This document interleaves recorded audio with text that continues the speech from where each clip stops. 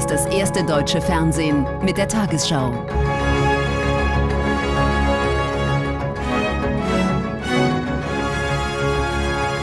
Heute im Studio Konstantin Schreiber. Guten Abend, meine Damen und Herren. Ich begrüße Sie zur Tagesschau. Die CDU hat sich nach der Niederlage bei der Bundestagswahl an der Spitze neu aufgestellt. Mit großer Mehrheit wählten die Delegierten eines Online-Parteitags Friedrich Merz zum neuen Vorsitzenden und damit zum Nachfolger von Armin Laschet.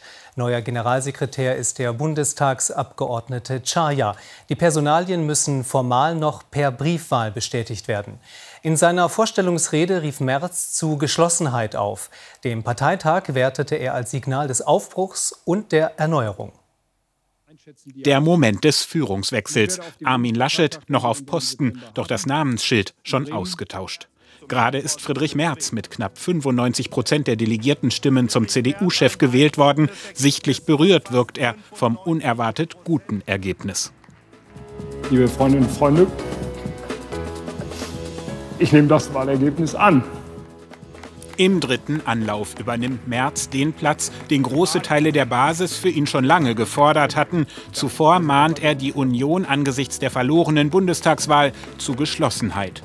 Das, was wir im Jahr 2021 in der Union erlebt haben, das darf sich nicht wiederholen und das wird sich nicht wiederholen. Zusammen mit fünf Stellvertretern will Merz aus der Opposition heraus angreifen. Sachsens Ministerpräsident Kretschmer repräsentiert den Osten, die Kieler Bildungsministerin Prien den sozialpolitischen Flügel. Merz selbst betont die Wirtschaftskompetenz. Wir wissen, dass Wirtschaft nicht alles ist. Aber ohne eine erfolgreiche und ohne eine konkurrenzfähige Wirtschaft wird weder der ökologische Umbau unseres Landes gelingen, noch der Sozialstaat Bundesrepublik Deutschland auf Dauer aufrechtzuerhalten sein.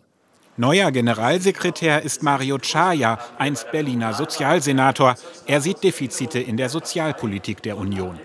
Bei der Zukunftsfähigkeit der sozialen Sicherungssysteme, bei der Kinderarmut, in der Wohnungsnot. All diese Themen konnten wir nicht in einen gewinnbringenden Dialog mit den Bürgerinnen und Bürgern bringen. Die Delegierten bestätigten fast alle Personalvorschläge für die Führungsriege. Allein die Vorsitzende der Frauenunion, Wiedmann Mautz, eine Verfechterin der Frauenquote, wurde nicht gewählt.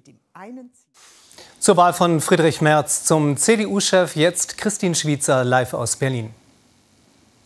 Das war heute ein persönlicher Triumph für Friedrich Merz. Nach zwei gescheiterten Anläufen haben ihn die Delegierten mit diesem Ergebnis regelrecht ins Amt getragen. Spahn und Klöckner, Merkels ehemalige Minister, wurden mit schlechten Ergebnissen regelrecht abgestraft. Das Team um Merz verspricht einen Neuanfang. Doch der Erfolg heute ist kein Ruhekissen. Die enorme Zustimmung für Merz und die neue Parteispitze ist ein Vertrauensvorschuss der eigenen Basis. Dahinter steckt eine große Sehnsucht nach Harmonie. Das Ringen um den richtigen Kurs aber wird weitergehen.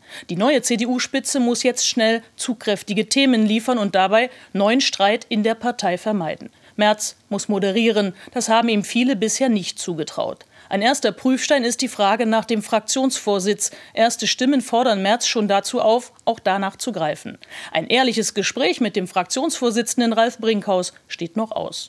Schon in wenigen Wochen wird im Saarland gewählt, im Mai in Schleswig-Holstein und Nordrhein-Westfalen. Hier kämpfen drei CDU-Ministerpräsidenten um ihr Amt. Einen langen Machtkampf kann sich die Partei dabei nicht leisten. Und damit zurück zu Konstantin Schreiber. Zwei Tage vor der nächsten Bund-Länder-Runde zur Corona-Lage hat sich die Gesundheitsministerkonferenz dem Vorschlag angeschlossen, PCR-Tests zu priorisieren. Sie sollten künftig dem Personal in Medizin und Pflege sowie besonders gefährdeten Menschen vorbehalten sein.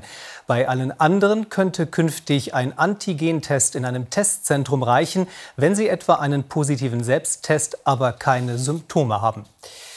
Die Zahl der Neuinfektionen steigt weiter rasant. Dem RKI wurden binnen eines Tages 135.461 Neuinfektionen gemeldet, 57.400 mehr als vor einer Woche.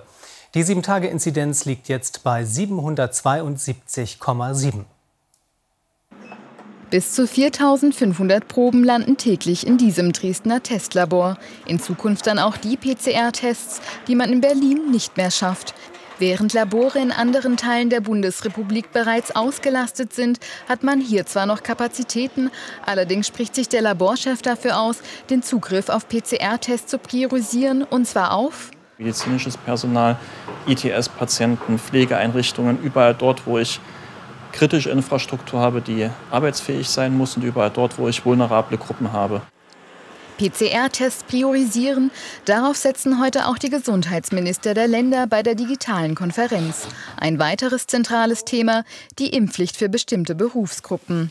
Hier gäbe es noch viele Fragen, zum Beispiel wie genau mit Pflegekräften verfahren werden soll, die zum Stichtag noch nicht geimpft sind. Wir haben den Bundesgesundheitsminister gebeten, gemeinsam mit den Ländern rechtssichere Kriterien für eine praktikable Umsetzung der einrichtungsbezogenen Impfpflicht zu entwickeln. Kritik zur Impfpflicht nur für Pflegekräfte ab Mitte März kommt heute aus Bayern. Es wäre besser gewesen, von vornherein eine allgemeine Impfpflicht für alle zu machen, statt nur für einzelne Gruppen. Denn die vorzeitige Einführung im Pflege- und Krankenhausbereich kann zu Verlusten an Pflegekapazitäten führen. In ganz Deutschland wie auch hier in Thüringen gingen tausende Menschen gegen die aktuellen Auflagen und eine allgemeine Impfpflicht auf die Straße. Ich bin seit 35 Jahren Krankenschwester im Gesundheitswesen. Die Politik hat sich Jahrzehnte nicht für uns interessiert, mit welchen Keimen und Viren wir zu tun hat. Und jetzt will man uns hier vorschieben für eine Impfpflicht, die für mich nicht wirksam ist. Auch in Stuttgart demonstrierten heute Tausende von Menschen vor dem SWR. Sie kritisierten die ihrer Ansicht nach einseitige Berichterstattung. Die Bundesregierung hat den Vorschlag der EU-Kommission abgelehnt, Investitionen in Atomkraft als nachhaltig einzustufen. Atomenergie sei nach wie vor risikoreich und teuer. Außerdem sei die Endlagerfrage nicht gelöst, heißt es in einer Stellungnahme an Brüssel. Erdgas für eine Übergangszeit in die sogenannte Taxonomie aufzunehmen, unterstützt die Regierung hingegen. Sie schlug aber einige Änderungen vor. Mithilfe der Taxonomie wird bewertet, wie umwelt- und klimafreundlich wirtschaftliche Aktivitäten sind. Als sich die Ampelkoalitionäre gestern anlässlich der Kabinettsklausur zum Familienfoto vor dem Kanzleramt versammelten und prima Klima demonstrierten, war der Brief an Brüssel noch nicht unterschriftsreif. Man hatte Diskussionsbedarf. Erst spät am Abend veröffentlichte die Bundesregierung ihre Stellungnahme, die Pläne der EU-Kommission, Atom- und Gasenergie als grün einzustufen, will Berlin so nicht. Atomenergie nein danke, weil riskant und teuer. Atomkraft ist eine Energieform, die uns viele Probleme bereitet. Wir haben die ungelöste Endlagerfrage, wir haben immer wieder die Unfälle, wir haben hohe kollaterale Schäden beim Abbau von Uran. Atomkraft ist nicht nachhaltig. Und das steckt dahinter.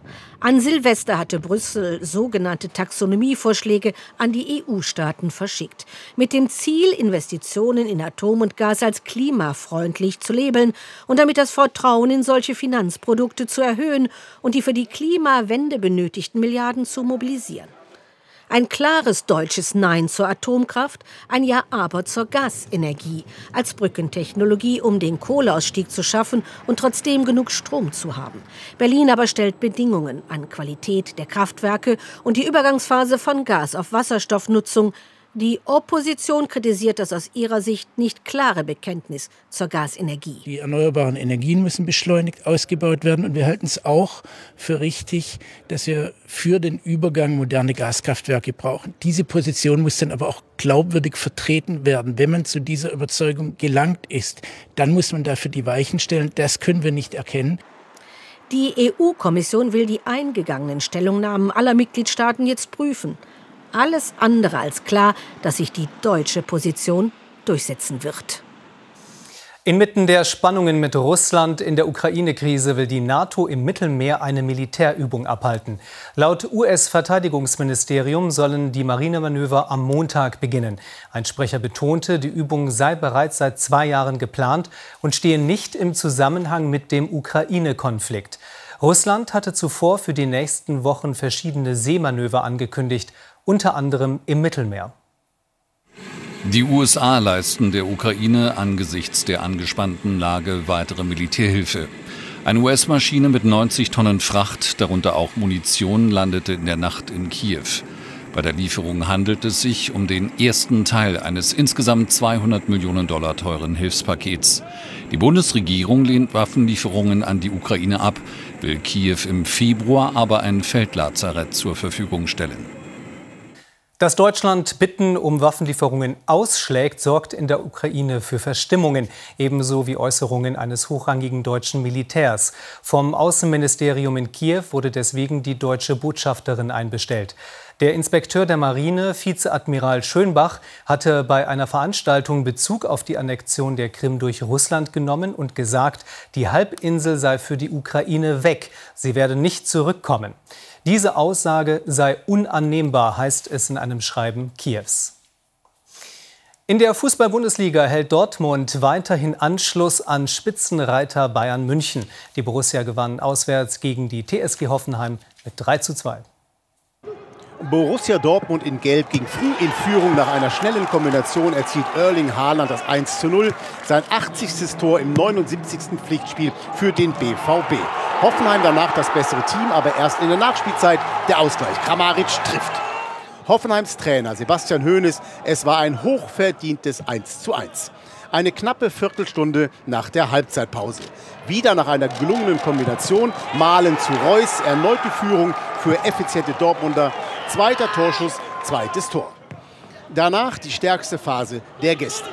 Das ist Malen und David Raum mit einem Eigentor. 3-1 Dortmund, alle drei Tore vorbereitet von Daniel Malen.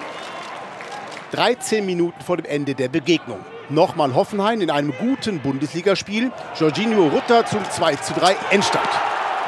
Borussia Dortmund und Trainer Marco Rose mit einer Reaktion nach dem 1 2 im Pokal auf St. Pauli. Gladbachs Trainer Adi Hütter spürt sicher die Solidarität von Union Berlins Coach Urs Fischer, aber die nützt auch nichts in der 18. Minute, als Zakaria dieses Handspiel unterläuft.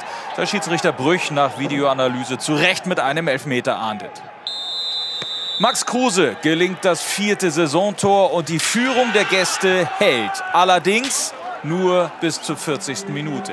Denn Gladbach lässt sich nicht hängen, kämpft und spielt ganz gut. Nach Hofmanns Vorarbeit ist es Manu Kone, der den verdienten Ausgleich zum 1:1 erzielt. In der zweiten Hälfte hat Gladbach mehr vom Spiel und auch einige Chancen. Die beste in der 77. Minute durch Luca Netz.